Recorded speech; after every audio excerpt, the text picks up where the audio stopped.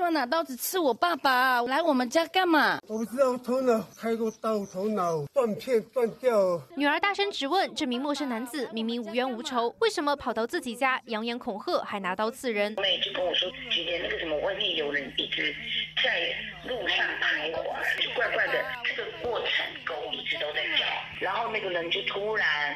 拿刀子夹在我妹脖子上，不要动这样子。然后我爸就赶快冲出来。二十一日凌晨一点多，花莲县万荣乡一名四十八岁谢姓男子突然闯入民宅后院，拿刀恐吓住户女儿，扬言再动就杀你。女儿惊恐尖叫。六十六岁杨姓屋主听到女儿求救，气得追上去夺刀，狂奔三百公尺，和持刀男扭打，反被凶手刺伤脖子，血流如注，伤口再差一公分就要割到主动脉。有一处六公分的伤口，救护人员给予清洗伤口止血包扎，立即将其送医。本案。但谢嫌因无故侵入他人住宅，攻击伤害他人致受伤，故建请花莲地检署声押进见。男子被警方以现行犯移送地检署侦办，但检方却把持刀男无保请回。得知刺伤父亲的凶手被释放，让女儿恐慌又愤怒，质问：难道要等出人命才要重视？但检方表示，考量到持刀男子是非预谋犯罪，也愿与被害人道歉、寻求原谅等原因，因此才将他无保请回。目前只能请辖区派出所随时紧盯男子状况，防止意外再发。生记者刘娇王阳花莲采访报道。